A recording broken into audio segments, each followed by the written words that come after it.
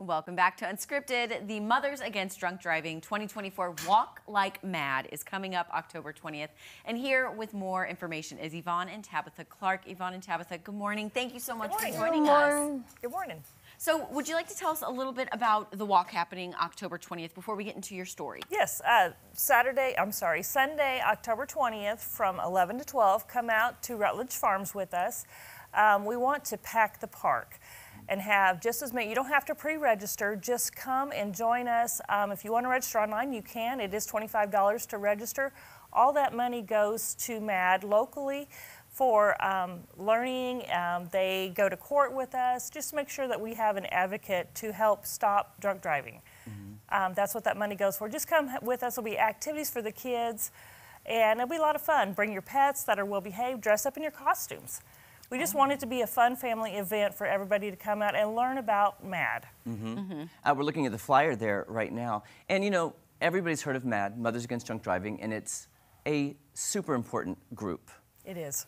Because it's such an important issue. Do you mind, could you share a little bit of, of your story with us, Tabitha and Yvonne? I got hit by a drunk driver December 5th of 2015 and got a TBI traumatic brain injury. Mm-hmm. Mm-hmm. Wow. How are you feeling now? I feel fine, but I just can't walk or talk very good. I got you. Well, we think you're doing great. Yes. Well, I, I wanted to ask, um, and not to get into too many of the specifics, was it morning time, nighttime? That morning. it was early morning. She was coming home from bowling with some friends, yeah. and it was a Friday night and at the intersection of Campbell and Sunset got T-boned by a drunk driver. Mm. Um, he served five years, and he's he's um, he's done now. Mm-hmm. You know, he's moved on with his life, and you know, life for us, we've it's changed. We've adjusted, we've adapted, and you know, it is what it is now.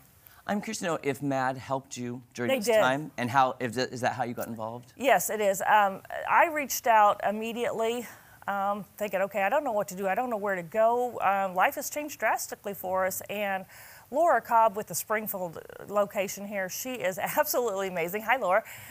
Um, she was there with us every step of the way. She took us to court. She explained to us what was going to happen in court, how things are probably not going to go our way in court. And she is still there with us today. And um, it, once you become a, a member of MADD, you are a lifetime member, and you meet so many other wonderful people that um, we say this is a club that no one wants to be a part of. Yeah. But once you're here, you have family members, extended family members that are there because they know why you're there and they're there for the same reason. Mm-hmm. So, yeah, that's why we're promoting this Walk Like MADD. Come out and walk with us. Yeah. You know, just to meet all these amazing people and hear their stories. Yeah. Now, have you been able um, to pay it forward to a family as well that is experiencing uh, what you and, and, Tabitha and your family um, went through? We do meet a lot of people, mm-hmm. but unfortunately, the people we meet, they've lost people. Okay. Um, we don't see as many who are victims that are survivors. Oh. But we do like to speak to everybody we get a chance to, just so that way um, somebody else doesn't create a Tabitha. Right. And, and we're just so glad that you're here and to, to share your story. Let's get the details about the walk one more time because we want as many people to come out to this as possible. Um, Sunday, October 20th, um, from 11 to 12 is the actual walk. Uh, registration is at 10 o'clock. Come check in. And I think we'll actually be in the park until 2. We'll be at Rutledge Farms and come and have fun.